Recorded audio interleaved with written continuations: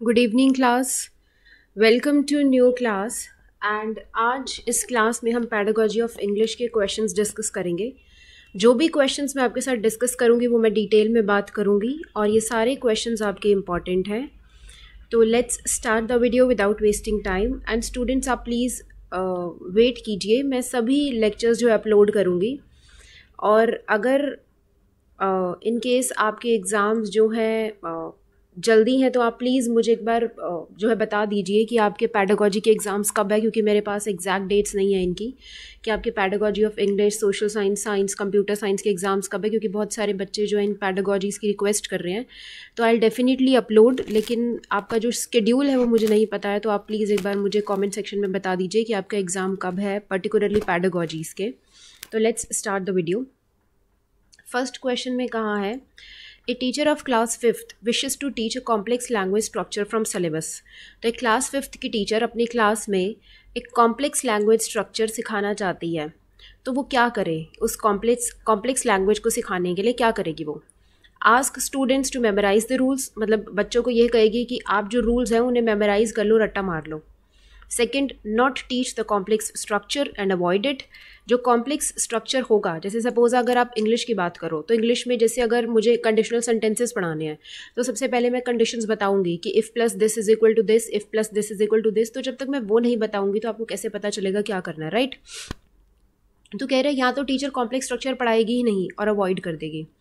Third focus on listening speaking practice instead of teaching grammar अब grammar पढ़ाने की बजाय टीचर क्या कर रही है? आपको लिटरेचर में जैसे कराते हैं लिसनिंग स्पीकिंग प्रैक्टिस टीचर ने चैप्टर पढ़ा, आपने सुना, आपने दोबारा रिपीट कर दिया, या वो कर रही है?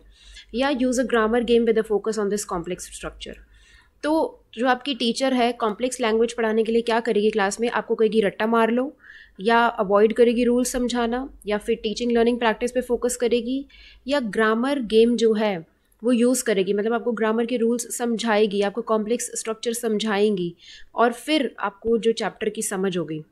तो आपका आंसर क्या होता है? ऑप्शन फोर कि अगर आपको कॉम्प्लेक्स लैंग्वेज सिखानी है तो पहले आपको उसकी ग्रामर उसकी व्याकरण समझानी पड़ेगी, उसके बाद आपको चैप्टर समझ आएगा। तो मैंने यहाँ एक्सप्लेन कर दिया है कॉन्सेप्ट बाइट्स अलग से नहीं बनाई है। If a teacher of class fifth wishes to teach a complex language structure from syllabus तो she should use a grammar game तो वो क्या करेगी, आपको grammar समझाएँगी and grammar gave have the advantage of allowing all the students to practise and internalise वो कैबलरी grammar and structures तो अगर आपको ग्रामर के रूल्स समझा दिए जाए तो आप इजिली इंटरनलाइज कर लोगे वोकेबलरी को, आपके ग्रामर के रूल्स को एंड जो स्ट्रक्चर आपको सेंटेंसेस के बताए जाएँगे, आप उसे अच्छे से पढ़ पाओगे। आई होप आपको फ़र्स्ट क्वेश्चन समझ आ गया होगा। Second question According to National Curriculum Framework or NCF 2005, India is a bi- multilingual country. English in India is a multilingual country. तो इंग्लिश क्या है यहाँ first language foreign language global language या associate language तो national curriculum framework से अगर देखा जाए तो इंग्लिश इंडिया जो इंडिया एक मल्टीलिंगुअल कंट्री है जहाँ इतनी सारी लैंग्वेजेस बोली जाती हैं तो इंग्लिश क्या है एक ग्लोबल लैंग्वेज मतलब पूरे वर्ल्ड में बोली जाती है, ठीक है? तो according to N C F English is a global language and more than three fifty million people around the world जो है वो इंग्लिश बोलते हैं as their first language and more than four thirty million people है जो as a second language English बोलते हैं, जैसे हम, हमारी फ़र्स्ट लैंग्वेज क्या है? हिंदी सेकेंड लैंग्वेज क्या है? English next question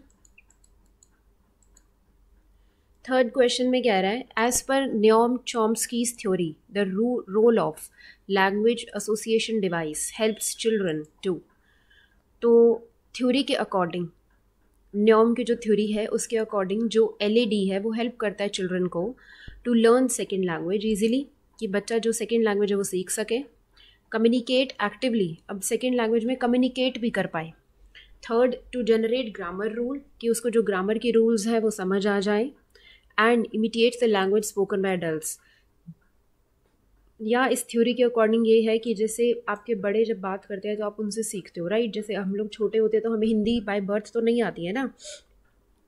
क्या करते हैं हम लोग? अपने आसपास जो लैंग्वेज सीखते हैं, सुनते हैं, वही हम अडॉप्ट कर लेते हैं। या हम कॉपी करेंगे इमिडिएट मीन्स कॉपी करेंगे लैंग्वेज जो अडल्ट बोल रहे हैं। तो नॉम चॉम्स की इस थ्योरी के अकॉर्डिंग जो एल है वो कैसे हेल्प करता है बच्चों को? टू जनरेट ग्रामर रूल्स तो आंसर क्या है? Option three to generate grammar rules तो जो चॉम्स्की था, उसका व्यू क्या था? उसका व्यू ये था कि आप स्पेसिफिक जो स्ट्रक्चर्स है, वो अपने ब्रेन में ध्यान रखो। मतलब सपोज़ अगर मैं ग्रामर का चैप्टर पढ़ा रही हूँ और मैं आपको एक्सरसाइज करा दूँ तो आपको उसके ये नहीं पता चलेगा ना कि उसमें मुझे क्या फिल करना है। अनलेस अंटिल आप उसको रट्टा मार लोगे वही फिल कर दो। लेकिन अगर क्वेश्चन बदल के आ गए तो आपको नहीं पता चलेगा। तो चॉम्स्की की जो थ्योरी थी उसके अंदर जो इम्पोर्टेंस थी वो लिखी गई थी ऑन द ग्रामर रूल्स ठीक है? तो Uh, किसी भी लैंग्वेज को सीखने के लिए सबसे पहले आपको उसकी ग्रामर समझनी पड़ती है। सपोज़ अगर कोई इंग्लिश भी सीखना चाहता है तो ऑब्वियसली उसको उसकी ग्रामर सीखनी पड़ेगी, क्योंकि ऐसा तो हो नहीं सकता ना, हम आर की जगह इस बोले, इसकी जगह आर बोले या वॉज़ की जगह हैव बोले। तो इसलिए नॉम चॉम्स की इस थ्योरी के अकॉर्डिंग जो एल है वो हेल्प करता है बच्चों को ग्रामर रूल्स जनरेट करने में मतलब कि पूरी व्याकरण को समझने में। नेक्स्ट क्वेश्चन देखते हैं। English language has consonant sounds आपको पता होगा इंग्लिश में कॉन्सोनेंट्स और वॉवल्स होते हैं। ए ई आई ओ यू ए ई आई ओ और यू क्या होते हैं? वॉवल्स ठीक है?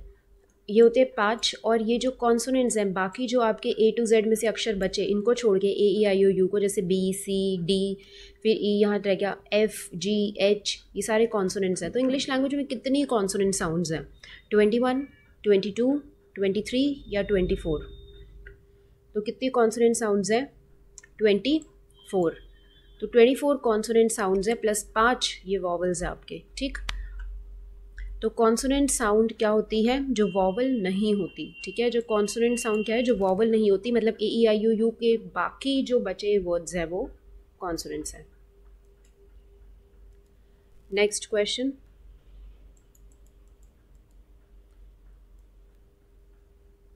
नेक्स्ट क्वेश्चन में कहा है which of the following is correct children's first language is hurdle in learning English जैसे हम लोग हिंदी बोलते हैं तो क्योंकि हम हिंदी में इतनी कमांड रखते हैं कि हमें मुश्किल होती है इंग्लिश सीखने में तो बच्चों की जो फ़र्स्ट लैंग्वेज है, वो एक हर्डल है, एक ऑब्स्टिकल है, एक बाधा है इंग्लिश लर्न करने में। Second it is difficult to teach English as the use their first language in every aspect and ignore English या ये बहुत डिफ़िकल्ट है इंग्लिश किसी को सिखाना, जिनकी फ़र्स्ट लैंग्वेज कुछ और हो। क्यों? क्योंकि फ़र्स्ट लैंग्वेज हम बहुत ज़्यादा यूज़ करते हैं। जैसे सपोज़ आप और मैं, अपने घर में क्या यूज़ करते हैं? हिंदी। तो ऐसे लोगों को फ़र्स्ट लैंग्वेज समझाना मुश्किल है और ऐसे लोग जो है इग्नोर भी करते हैं, अगर नई लैंग्वेज सीखना चाहे तो। या third as a teacher you would like to go to list of English words on the very first day या एज अ टीचर क्या करोगे कि जो इंग्लिश के वर्ड्स हैं आप क्लास के फ़र्स्ट डे इंग्लिश के वर्ड सिखा दोगे कि ये कि आप ये याद कर लो करेक्ट का मतलब होता है ठीक हर्डल का मतलब है मिस्टेक्स ऑब्स्टिकल्स का मतलब है जो बाधाएँ आती हैं। तो ऐसा तो कोई नहीं करता ना कि टीचर आपको फ़र्स्ट डे जाते ही जो है वोकेबलरी सिखा दे और आप सीख जाओगे इंग्लिश या fourth children come to school with a treasure of experience and they mother tongue act like resource in learning English या बच्चे स्कूल आते हैं, ये सोच के कि हम यहाँ से कुछ सीखेंगे और हमारी जो मदर टंग है, हमें हेल्प करेगी दूसरी लैंग्वेज सीखने में। या इंग्लिश पर्टिकुलरली हम इंग्लिश की बात करें तो इंग्लिश सीखने में। तो कौन सी स्टेटमेंट करेक्ट है? जो बच्चों की फ़र्स्ट लैंग्वेज है, क्या वो हर्डल है? या डिफ़िकल्ट है इंग्लिश सिखाना क्योंकि इग्नोर करते हैं हम लोग? या टीचर फ़र्स्ट डे ही आपको वर्ड सिखा देगी और आप लैंग्वेज सीख जाओगे? या बच्चे जो स्कूल आते हैं with the treasure of experience और वो चाहते हैं कि हमारी जो फ़र्स्ट लैंग्वेज है, उसकी हेल्प से हम दूसरी लैंग्वेज या इंग्लिश सीख सकें। तो करेक्ट ऑप्शन क्या हुआ? ऑप्शन फोर कि children come to school with treasure of experience and their mother tongue act like resource in learning English तो फोर्थ स्टेटमेंट करेक्ट होती है कि बच्चे जो है, एक एक्सपीरियंस के साथ आते हैं स्कूल में कि हाँ हमारी जो मदर टंग है जो हमें फ़र्स्ट लैंग्वेज आती है, उसकी हेल्प से हम इंग्लिश सीख पाएँगे। जैसे आपने देखा होगा, बहुत सारी वीडियोज़ या बहुत सारे लोग क्या करते हैं कि लर्न इंग्लिश थ्रू हिंदी तो कैसे सिखाएँगे आपको? क्योंकि आपको फ़र्स्ट लैंग्वेज आती है तो आपको बताएँगे ना कि इंग्लिश में हिंदी में आप बोलते हो पर्टिकुलरली ये वर्ड और इंग्लिश में आप इसको ये बोलते हो। तो इसी तरह से वो आपको सिखाएँगे, ठीक है? तो आपका ऑप्शन फोर्थ होता है करेक्ट इन केस आपको कोई प्रॉब्लम हो तो प्लीज़ आप जो है कमेंट करके मुझसे पूछ लेना। Question six a teacher divides the class in small groups and ask them to discuss and present their views on save environment अब एक टीचर क्या करती है? क्लास को ग्रुप्स में बांट देती है और एक टॉपिक दे देती है सेव एनवायरनमेंट और कहती है बच्चों को अपने व्यूज़ डिस्कस करो इसके ऊपर। Students are free to plan and present their choice and creativity अब बच्चों के पास पूरी फ्रीडम है कि, कि अपने जो चॉइस है अपनी जो व्यूज़ है रिप्रेजेंट करो। अपने बात कहो इसके ऊपर। Teacher is facilitating them as and when required और टीचर हेल्प करती है उन लोगों की बच्चों की जब भी उन्हें ज़रूरत होती है। तो which approach is followed in the class तो टीचर कौन सी अप्रोच यूज़ कर रही है? बच्चों को एक टॉपिक दिया कहाँ आप लोग डिस्कस करो? जब मेरी हेल्प की ज़रूरत होगी मैं करूँगी। तो कौन सी अप्रोच टीचर ने जो है यूज़ की क्लास में? Sorry constructivist approach structural approach natural approach या deductive approach so see teacher ने क्या किया क्लास में? एक टॉपिक दिया, बच्चों को कहाँ बात करो? ठीक है? तो टीचर ने कौन सी अप्रोच यूज़ करी? कंस्ट्रक्टिविस्ट अप्रोच अब ये अप्रोच क्या होती है? This approach to learning as uh children have their own way of thinking मतलब आपको कंस्ट्रक्ट का मतलब सम, पता है, जैसे कंस्ट्रक्ट का मतलब क्या है? कुछ बनाना, है ना? तो बच्चों को हमने क्या कहा? सेव एनवायरमेंट टॉपिक है। आप सेंटेंसेस बनाओ, आप अपनी सोच से जो है प्रेजेंट करो, आप क्या बोलना चाहते हो, अपने व्यूज़ रखो। तो वो क्या करेंगे? कंस्ट्रक्ट करेंगे, अपना दिमाग लगाएँगे, अपने व्यूज़ देंगे। तो students should be treated as individuals and should have the opportunity to work with others तो बच्चे जो है, उनके पास एक अपॉर्चुनिटी है कि आप एक इंडिविजुअल आपके पास पूरी राइट right है। अपनी बात कहने का तो आप ग्रुप में अपनी बात कहो। And in the model student have ideas and skills that have not fully emerge but have the potential to be emerge particularly through this type of interaction अब कभी कभी क्या होता है, कुछ स्टूडेंट्स अपनी बात नहीं कह पाते, लेकिन इस अप्रोच में, जहाँ ग्रुप्स है तो जहाँ ग्रुप्स में वो अपने फ्रेंड्स के साथ काम करते हैं तो वो इंट्रैक्ट कर पाएँगे। ठीक? तो ये जो अप्रोच थी, ये किसने डेवलप की थी, आप याद रखोगे लेव व्योगिट्सकाई जो एक साइकोलॉजिस्ट थे। ठीक है? आप सिर्फ़ नाम याद रखोगे कि लेव ने अप्रोच दी थी कंस्ट्रक्टिविस्ट थ्योरी और इस अप्रोच के अंदर स्टूडेंट्स को पूरी राइट है अपनी बात कहने का, अपने वर्क को दिखाने का इंटरेक्ट करने का तो कंस्ट्रक्टिविस्ट अप्रोच हो जाती है ये। आई होप आपको क्वेश्चन समझ आ गया होगा। अगला क्वेश्चन देखते हैं।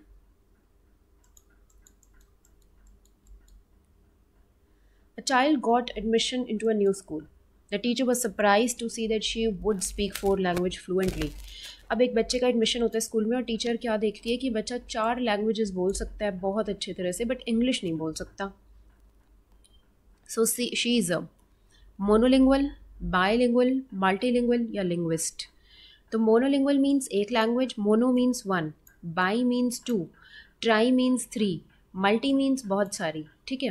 लिंग्विस्टिक जिसको बड़ी सारी भाषाओं का ज्ञान है। तो देखो a child got admission to new school और वो चार लैंग्वेजेस बोल सकता था but couldn't speak speak in English तो मोनो वन, बाई टू और दो से ज़्यादा बोल सको तो मल्टी बोलते हैं उससे। तो क्या बोलेंगे उस बच्चे को? Multilingual such a child is consider to be multilingual क्योंकि एक मल्टी लिंगुअल पर्सन क्या होता है? दो या दो से ज़्यादा लैंग्वेजेस अच्छे से बोल पाता है तो उसे क्या कहते हैं? मल्टी लिंगुअल बहुत ही सिंपल सा क्वेश्चन है बट ऐसे क्वेश्चन आपसे पूछे जाएँगे। A teacher of class 4th brought some interesting books and distributed among the students. Then she said, Today let's have fun and read these books for our pleasure. The reading is called. तो class fourth की जो teacher है कुछ books लाती है और बच्चों में डिस्ट्रीब्यूट कर देती है और कहती है कि आज हम बुक रीडिंग करेंगे तो इसको क्या कहोगे आप pre reading post reading intensive reading या extensive reading pre reading means pre means पहले पोस्ट मीन्स बाद में अब टीचर क्या कह रही है कि आज हम बुक्स पढ़ेंगे और इस रीडिंग को आप क्या कहने वाले हो? इस रीडिंग को हम क्या कहेंगे? एक्सटेंसिव रीडिंग जब आप कोई एक्टिविटी करते हो for fun and pleasure it's called extensive reading extensive reading involve learners तो एक्सटेंसिव रीडिंग में जो लर्नर्स है इन्वॉल्व होते हैं इन्जॉयमेंट के लिए and to generate their reading skills in this method students are allowed to choose their books they read depending on their interest तो जैसे लाइब्रेरी में होता है ना, जब स्टूडेंट्स छोटे होते हैं तो स्टोरी बुक्स रखी होती है और बच्चे अपनी मर्ज़ी से स्टोरीज चूज़ करते हैं और पढ़ते हैं और एक डिस्कशन होता है। तो वैसे ही इस, यहाँ पे इस मेथड में एक्सटेंसिव रीडिंग के मेथड में जो है बच्चे रीडिंग स्ट्रैटेजी में इन्वॉल्व होकर जो है इन्जॉय कर रहे हैं इंटरेस्ट ले रहे हैं। क्यों? क्योंकि उनकी जो बुक्स हैं, वो उन्होंने खुद चूज़ करी है और ऐसे टॉपिक्स उसमें से चूज़ करे होंगे ऑब्वियसली जिसमें उन्हें इंटरेस्ट आए। एंड जब वो बुक्स पढ़ लेंगे तो एक डिस्कशन होगा जिसमें जैसे स्टूडेंट्स जो आपस में डिस्कस करते हैं कि हमारी बुक में ये था या तुम्हारी बुक में ये था या ये स्टोरी थी या वो स्टोरी थी, इस तरह से बच्चों को जो है पढ़ने में भी अच्छा लगेगा, मज़ा आएगा। तो ऐसी प्लेजर एक्टिविटीज़ जो आप करते हो for reading for fun sake उसे क्या कहते हैं? Extensive reading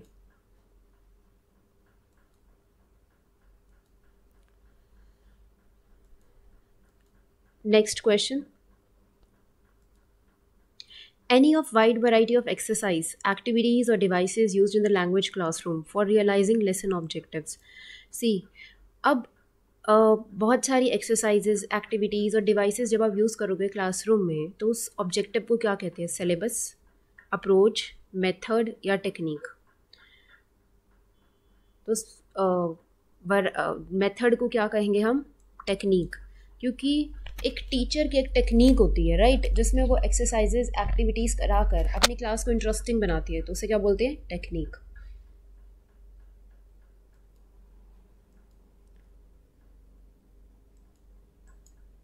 which of the following statement is true formative assessment to be effective must be conducted only after teaching a lesson अब आपको ये पता होगा कि असेसमेंट दो तरह की है फॉर्मेटिव और समेटिव ठीक है? फॉर्मेटिव और summative S U double M A T I Y summative देखो सम क्या होता है? जब आप किसी चीज़ का सम टोटल करते हो, ठीक है? जैसे सपोज़ आप कुछ खरीदते हो तो उसका टोटल करते हो, जब बाद में अपना बिल बनाते हो बैठ के तो बाद में करते हो ना?